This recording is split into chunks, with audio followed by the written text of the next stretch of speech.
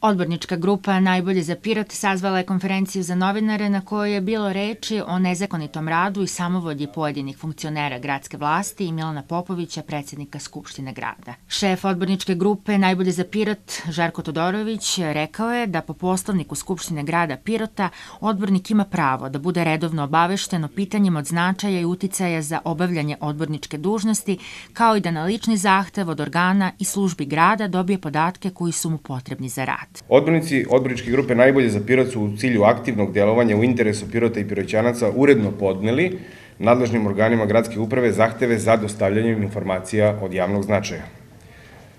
Pre svega, u okviru naše borbe protiv izgradnje derivacijonih mini hidroelektrana tražili smo da nam se dostave ugovori o izdavanju i pravima službenosti prolaza za cevovode na parcelama grada u selima Jelovica i Dojkinci. Znate da smo na prethodnoj konferenciji radili to za selo Topli Do, gde smo ustanovili da je uprava grada dala zemljište za postavljanje cevovoda u selu Topli Do. Sada je situacija ovaj, nama jasna da se to radilo i u selima Jelovica i Dojkinci.